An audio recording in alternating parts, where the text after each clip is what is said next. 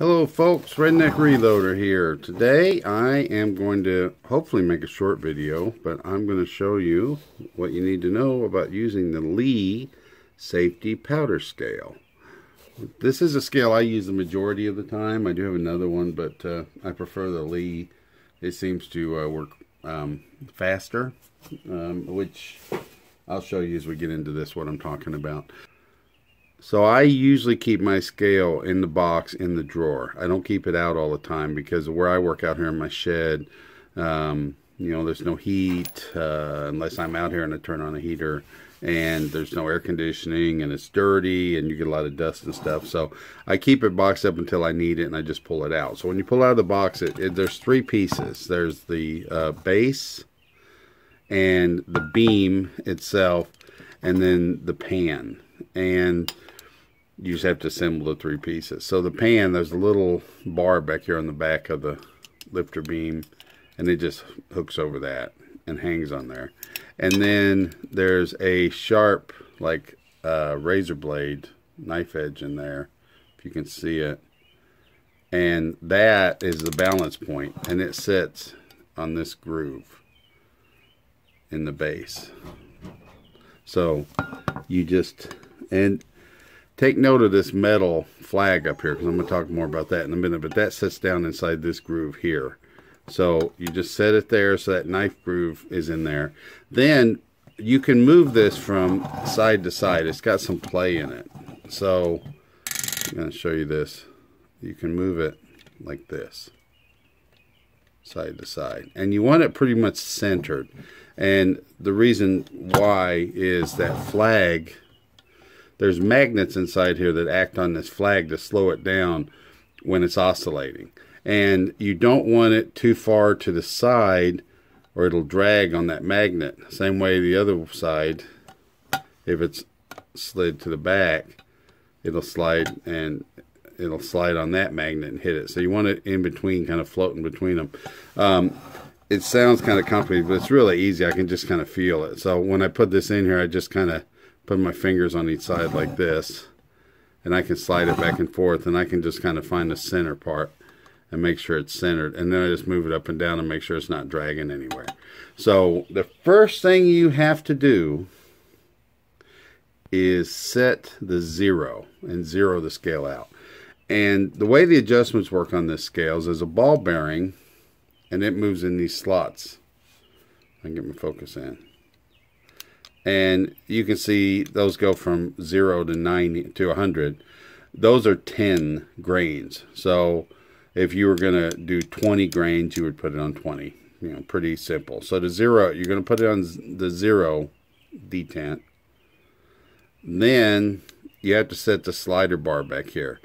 And the Lee scale is different than any other one I've ever seen. I don't think anybody else does one like this. Um, there's a there's a pin right here that locks. Let's see if I can show you. You push it in like this, and it. I can see this is going to be a challenging one to film. Push it in, and it locks like that. Clicks in, and that locks that slider bar. So to move the slider bar, you push that pin from the back. You push it out like this. And that unlocks it. And then you can slide it. The window down here where it says grains is literally how many grains? So 0, 1, 2, up to 10. Okay? Then the top window is tenths of a grain. And the way this top window works is when you're sliding, you should be able to see three of those faint lines and with the uh, one line being darker than the other two being faint, that's when you got your adjustment. So just for an example, I'm going to be loading here a little bit, and I'm going to be setting this to 3.9 grains. So what I'll do is I'll slide it until the 3 is in the grains window. And right now, if you look, you can see a heavy line on, you can actually see three lines. You can see one on the 9, one on the 0, and one on the 1. That actually means it's right at 3 grains.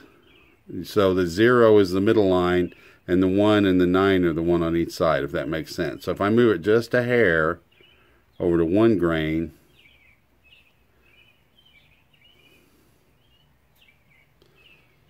it'll look like that. You can see that 9 line disappears and the 1 shows up on the 0. So you've got a heavy, bold line on the 1 and a faint line on either side of it. That's one tenth of a grain. So you move on to two, and you can see, you get the idea. So I'm going to set this at 3.9. So I'm going to put this in the, the 3 in the window down below, and then I'm going to move those lines out until I get to the 9. And you can see I've got a line on the 8, a line on the 9, and a line on the 0. So that's 3.9. So now the trick is to lock it. So I get it set there and then I push that button in and I lock it. So now it's set at 3.9 and it's not going to move. And since I have this on the, the ball in the zero spot, that's set to 3.9. If I move the ball to the 10 spot, that would be set to 13.9. So that's how you set it.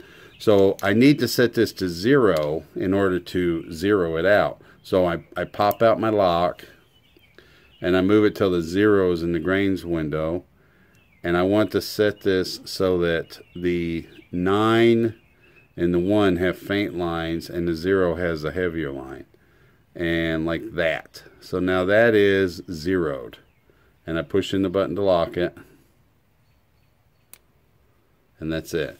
Now, this is literally the way that I set this because when I'm when I have it sitting down on my table, I can't see those little lines. Now, if you had it up on a shelf where it's eye level and you were close to it, you might be able to see it, but I can't. So um, this is the way I use it is I'll pick the beam up, hold it up to my eyes, and I'll set it.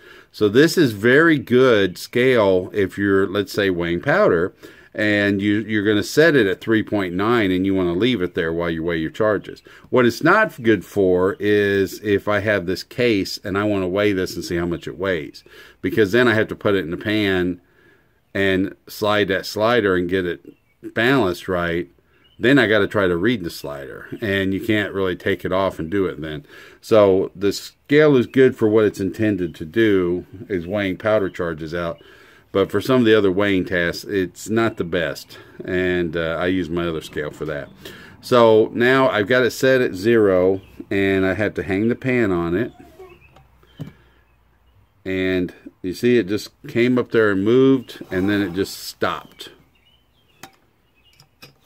That's not what should happen. So when I put it back on, I didn't center it. So it's hanging on those magnets.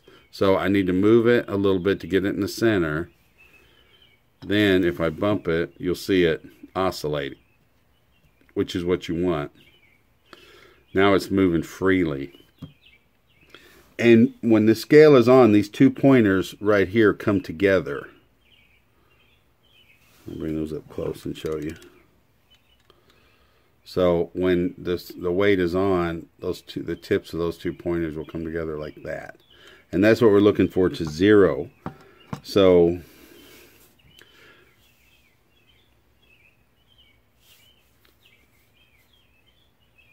It usually settles pretty quickly. Now see that the pointer for the beam is a little bit below this pointer. It's close, but it's a little on the low side. So what we need is more weight on this end in order to balance that out and get it to zero. And the way we accomplish that is, I'm going to take the beam back off and show you again. Um, behind this part of the beam is this screw. And you can see it's got a spring to keep it tight so that uh, um, it doesn't turn by itself. And all you got to do is turn this knob. So if I turn it towards me like that, um, that will move this piece of brass this direction and shift more weight to the back and lift the nose of that up. So that's how we adjust that. So when it's on here and I put my pan on and I make sure it's moving freely and I give it a second to balance.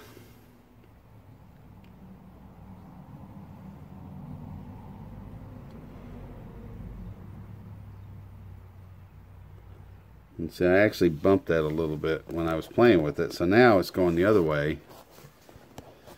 Let me move in a little closer so you can see. So now we're, the beam's a little high. I need to bring it down just a little bit. So what I'm going to do is turn this just a touch, and I mean just a little bit. And then I like to give it a little bump and let it move freely so it settles.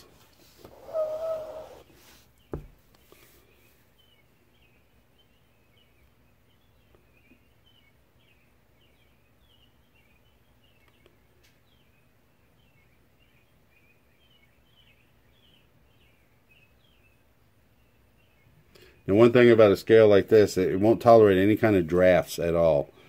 Um, when I'm out here in my shed reloading, I've got to wait until it's not windy at all to, before I do it. Because just the wind outside blowing will change the pressure in here enough that it'll move around. Because I've got gaps between my wall boards and stuff where you can get breezes in here.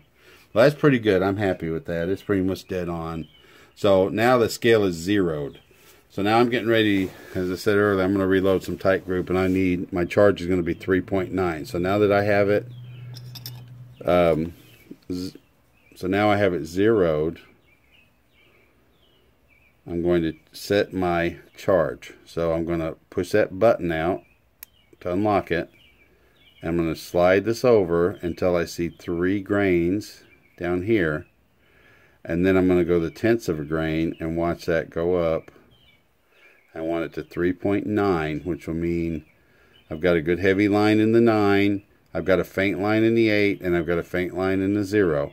So that is right there, that is 3.9 grains. So I'm going to push my button to lock it. And now I have it set. Make sure that the ball is in 0. And now I just reassemble it, put it back, the beam back on, put on my pan, make sure it's moving freely.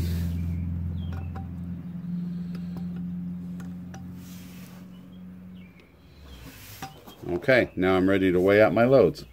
Now I've got my scale all set to 3.9 grains and now I'm going to go ahead and weigh out uh, some loads. So uh, I'm using the Lee dipper today and this is a 0.3 cc dipper which should give me 3.5 grains of Titegroup just a little bit less than what I need so I'm going to go ahead and dump this on the pan and you'll see the scale start to move up a little bit. But it doesn't quite come up to the right level there. So I'm gonna have to add a little bit more powder. So at this point you would just trickle some in. I'm just using my dipper and tapping it and then a little bit of powder at a time till I get it up to the charge I need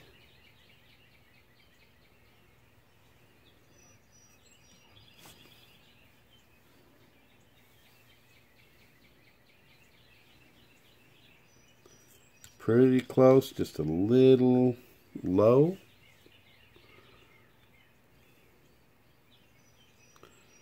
Tap in another just flake or two.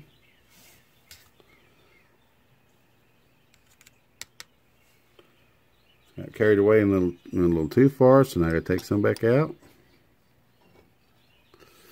And this usually goes a little smoother than this. I'm trying to work around the camera to do this, so it's a little awkward.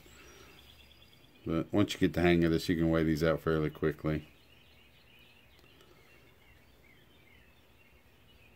That looks pretty good right there. Got it up to the next, got it up to the right level, so we're done.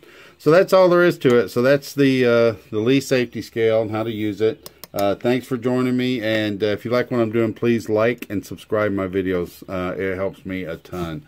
Uh, thank you all, and God bless.